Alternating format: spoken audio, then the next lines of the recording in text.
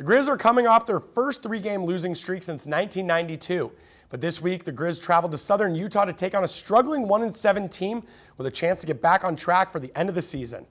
Montana coming in with a number of turnover issues and looking to clean up their mistakes. They did just that. Grizz wasting little time, opening drive and Dalton Sneed across the middle to Jerry Louie-McGee who takes it in for the 14-yard touchdown, 7-0 Grizz. Then five minutes later, more of it. Jeremy Calhoun, some tough running down at the goal line for a nine-yard touchdown run. Extra point was no good, so UM goes up 13 to nothing and the Grizz defense was matching that offense. Watch this.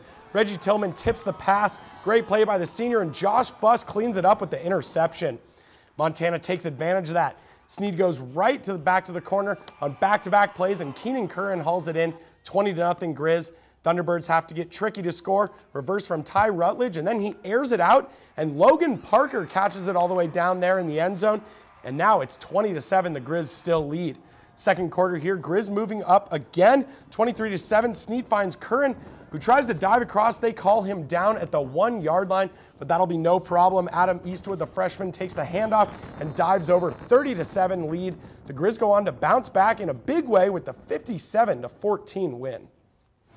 It's not lost on us that these guys are the uh, defending conference champs, and, and to come in here and hang it on them like that was pretty rewarding. And uh, you know, is good for our team to get a win. Certainly, it's been a, a few weeks, and, and uh, I, I love it. Offense, defense, kicking game. We won in all three phases, and that's why the score is what it is.